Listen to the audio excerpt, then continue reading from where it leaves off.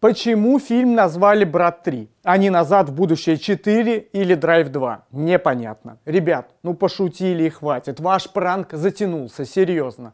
Вы же шутите.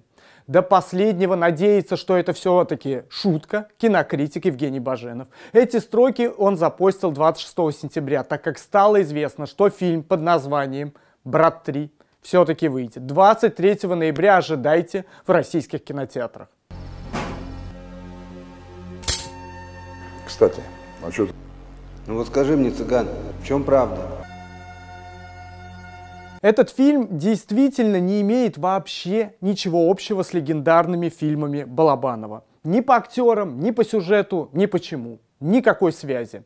Очевидно, что рэпер Птаха и компания просто решили таким образом затащить людей на свой фильм.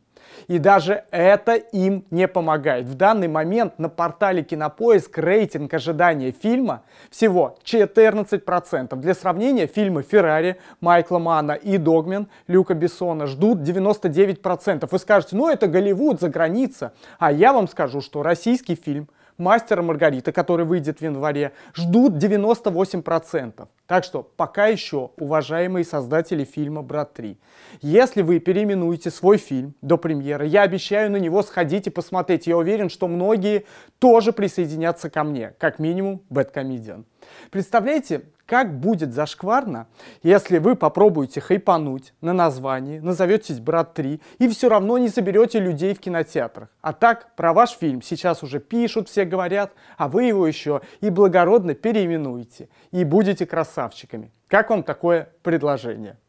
Правда в силе? Что мы вообще делаем?